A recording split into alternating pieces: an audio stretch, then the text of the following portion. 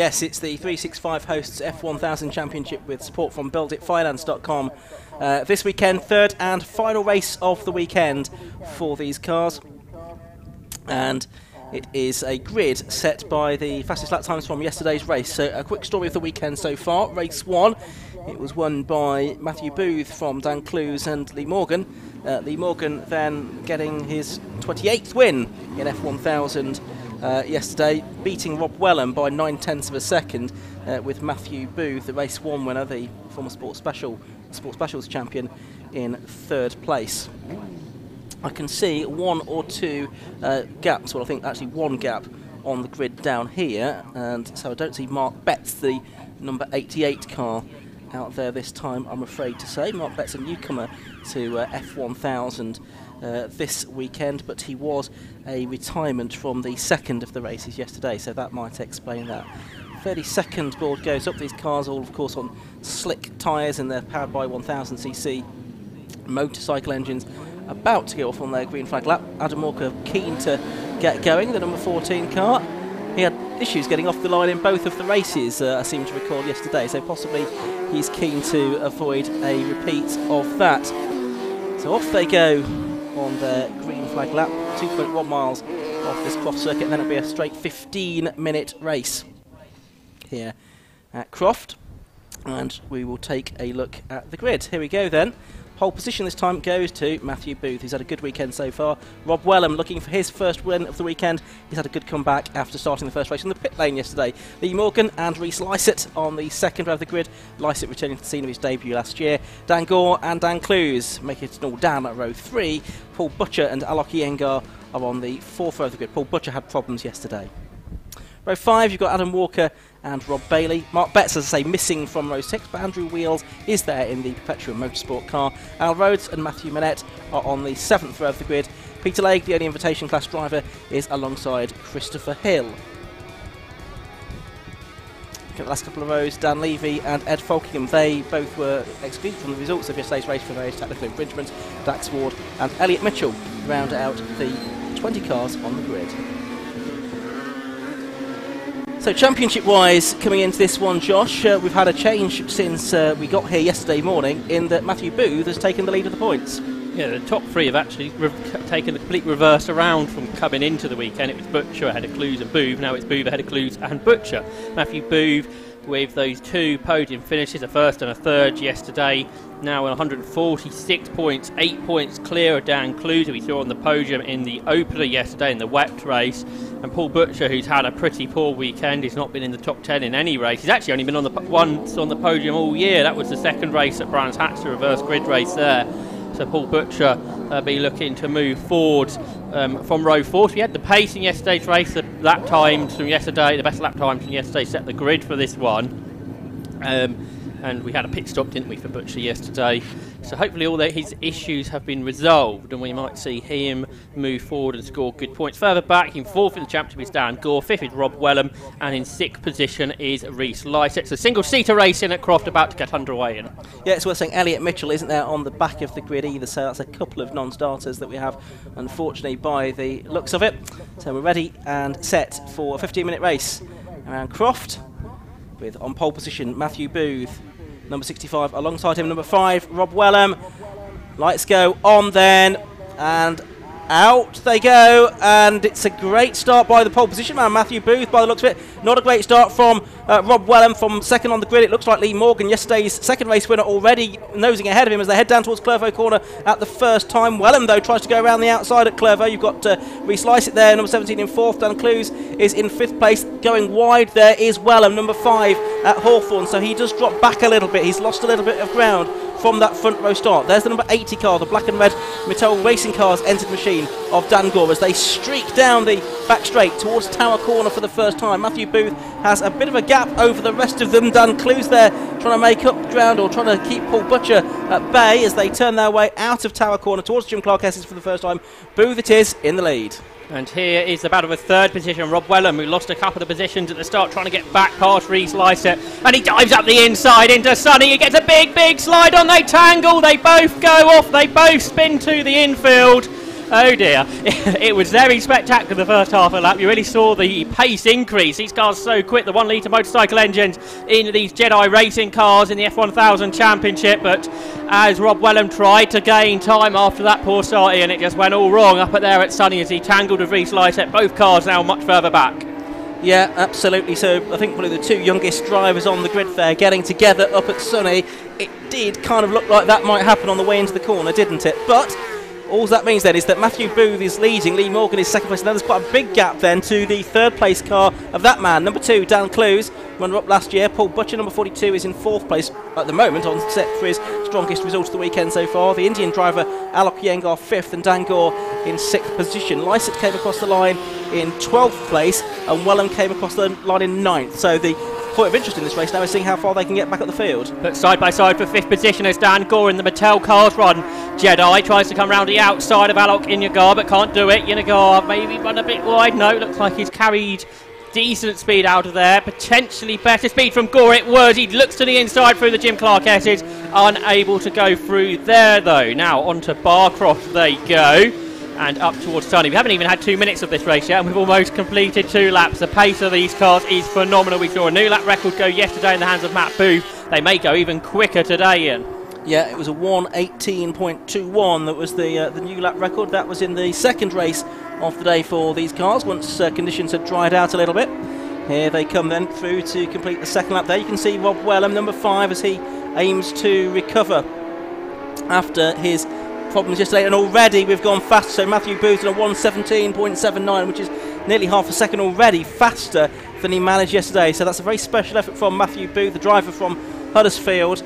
Uh, and I suppose he has got the clear air to be able to do it at the moment, Josh, at least. We're watching at the minute the battle a bit further back down the order.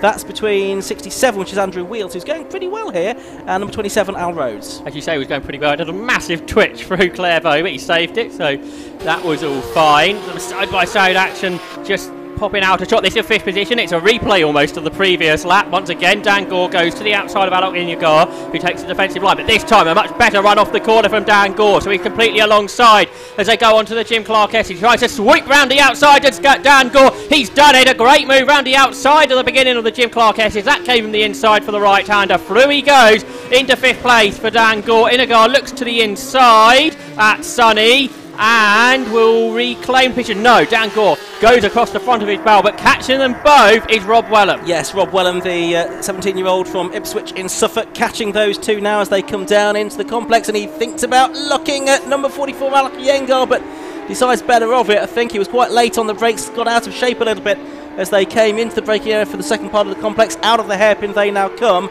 So Wellham back to seventh place.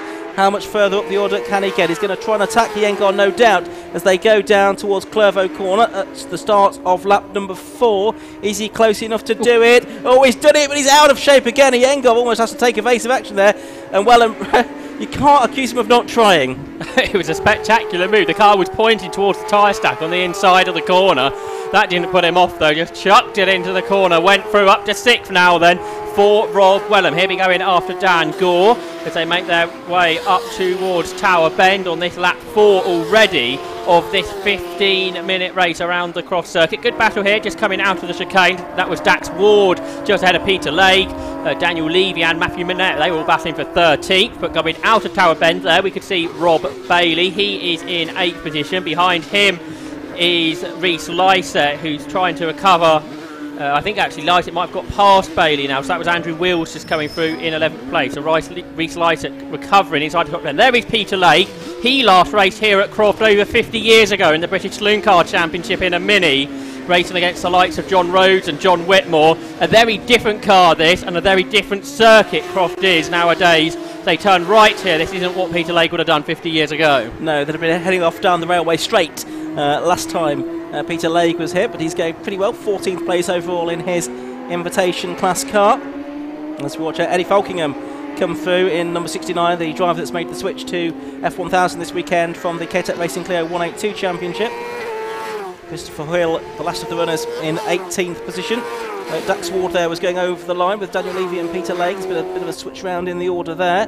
Lake now back to 15th position behind Levy. Watch number 21. That's uh, Matthew Manette going through his first season in race, but he's been karting since 2013. We've got one off. Yes, it's gone into the tyre wall too, hasn't it? So that's uh, there. It's br- broken rear suspension from that too. Just pick that up on our pit lane camera there. Broken the left-right corner, and I fear it may be Matthew Minette, who you just mentioned, but can't confirm that at the moment.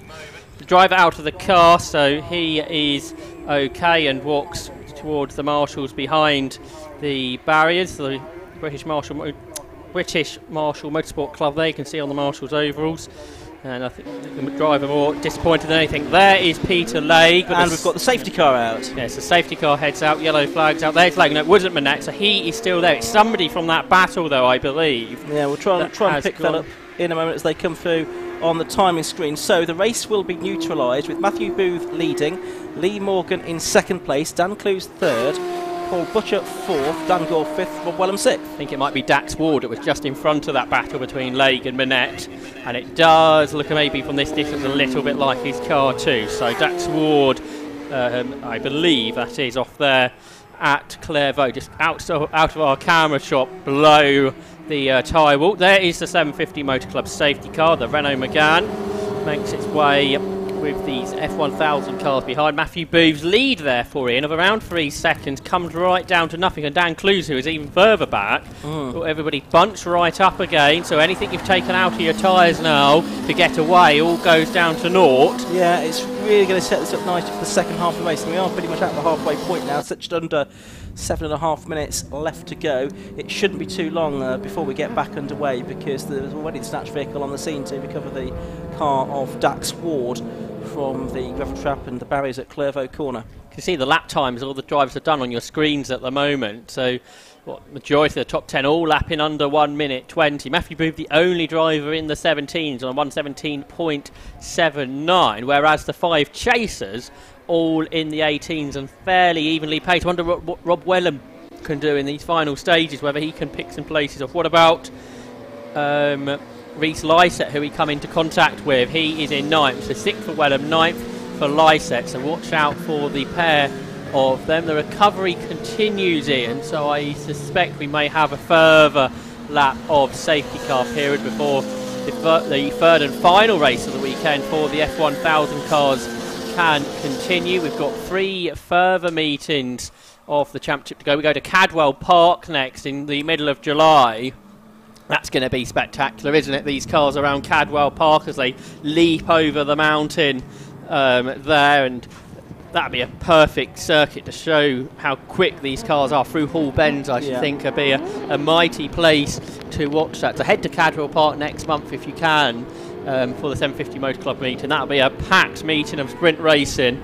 Um, an F1000 part of that. Safety car lights are still on, although the circuit is now clear. The medical car, though, is now on track just to attend to the driver. So the circuit's clear of cars, but not necessarily clear of drivers. And Dax, therefore, will uh, get into the medical car, being taken off to the medical centre to get checked, as is uh, absolutely uh, usual in these conditions. Uh, we hope, of course, that he is okay. So I think we'll probably just get the one more lap under the safety car. We've got five and a half minutes left to go, so we've got three levers something like three, three and a half minutes, I would think, while the safety car, by the time the safety car comes through again. So we might get another two or three laps out of it, all being well.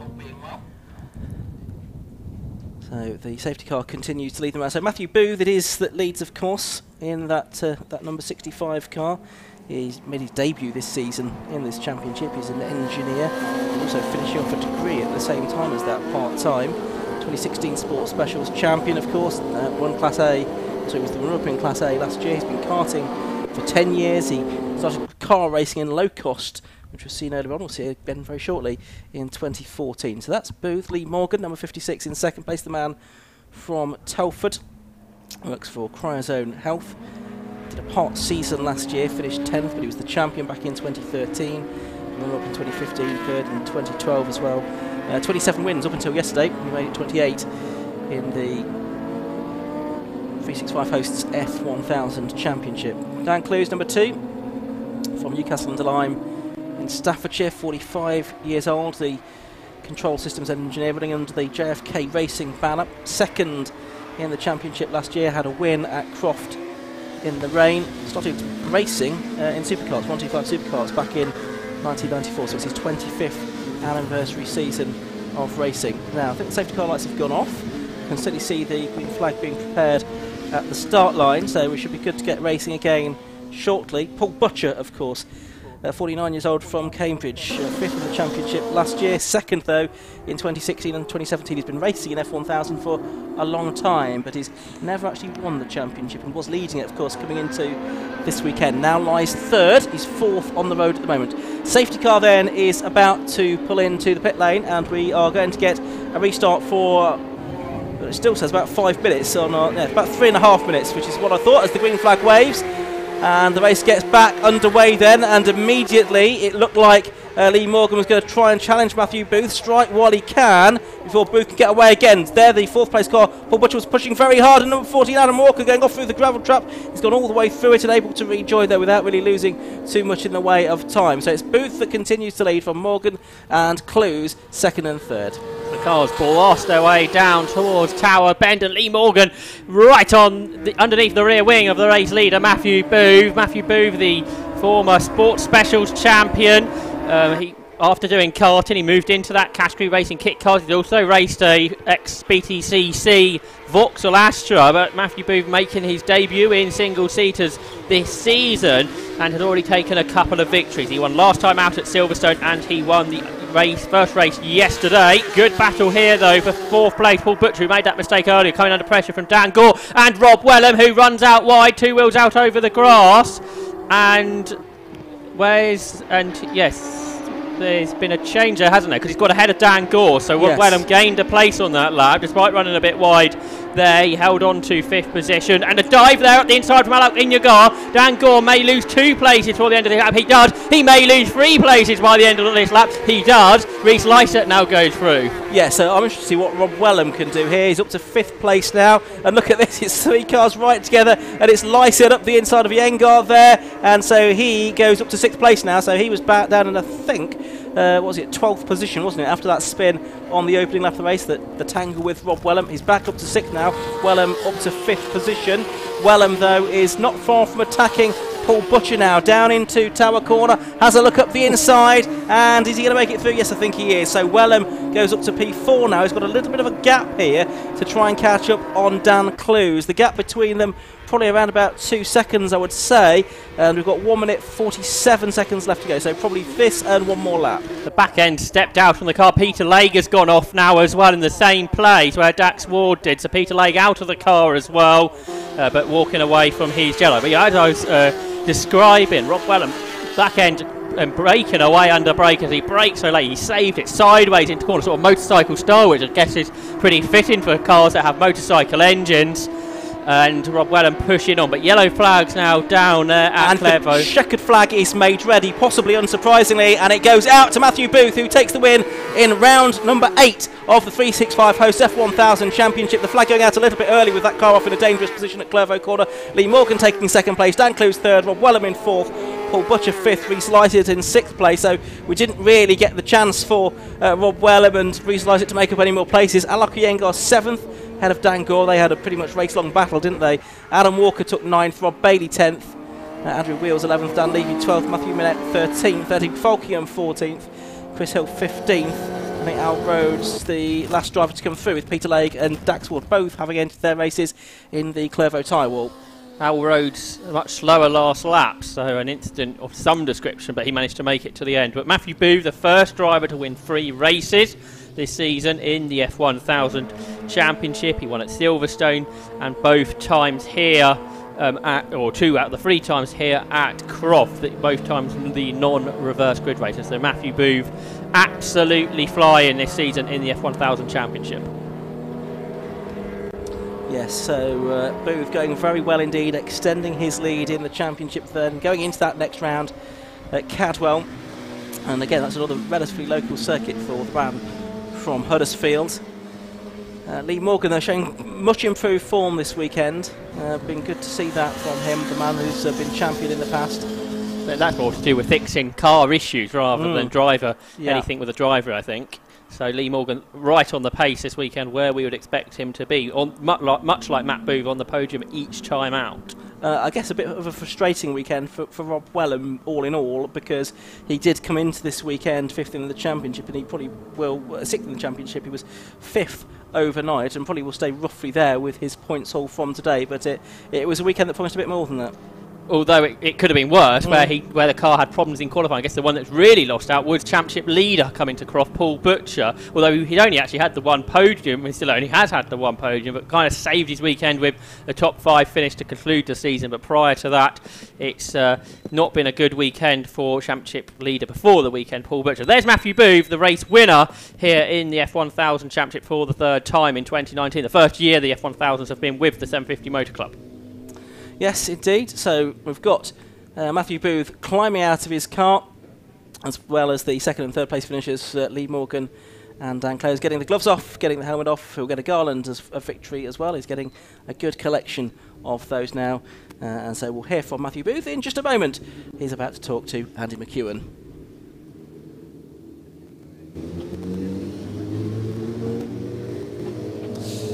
Well, Matthew Booth, congratulations. Uh, another race win. You extend the championship lead. Uh, you could have done without that safety car, though. Yeah, I, I was a bit worried when that came out because Lee's unbelievable on breaks down into tower and he's, uh, well, he's previous champion, so he's, uh, he's not one to get complacent with. So when that safety car came out, I just, you know, I had to try and get a good break from the hairpin. Um, I sort of misjudged it a bit at first, but then, yeah, we're all right. And uh, yeah, it went quite well. Yeah, happy these triple header weekends are quite busy, aren't they? And you've got to sort of manage your weekend, haven't you? And you've had a really good weekend.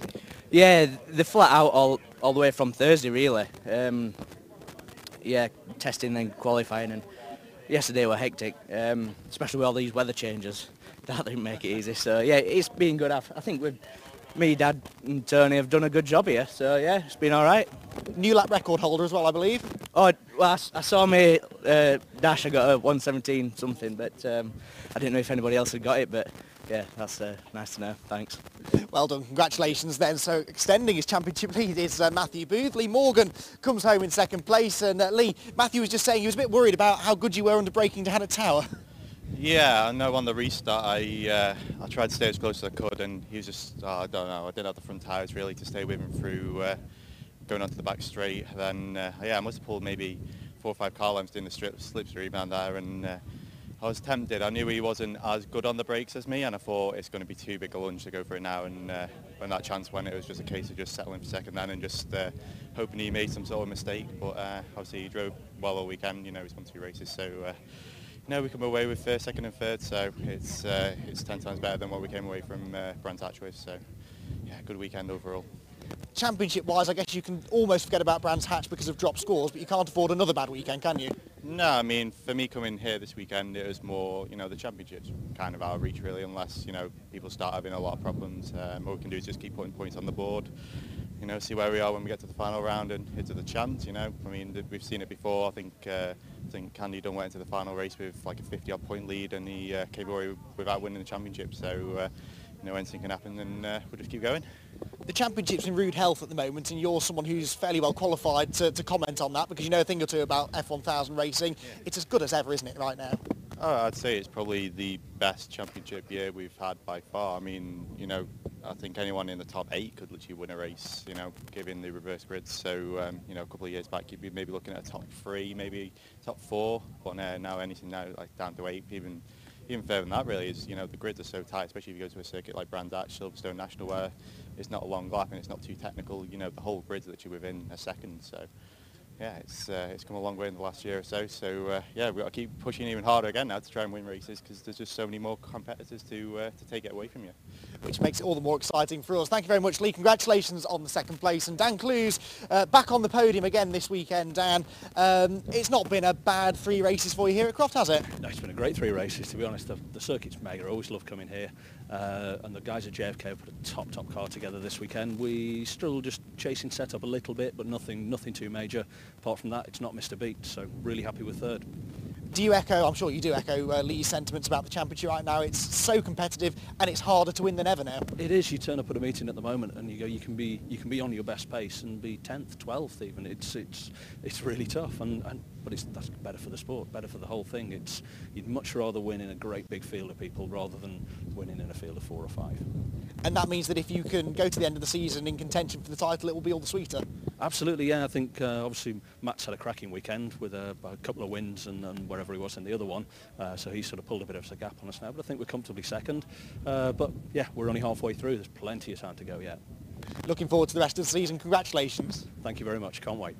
So there you go then. Congratulations to our final podium finishers then in the 365 Host F1000 Championship here at Croft with Dan Clues, Lee Morgan and Matthew Booth, Booth excuse me, proving tough to beat at the moment. Will he continue that form next time? Well, more racing on its way now then as the wind picks up and the clouds are starting to gather again. Back to you, Ian and Josh in the box.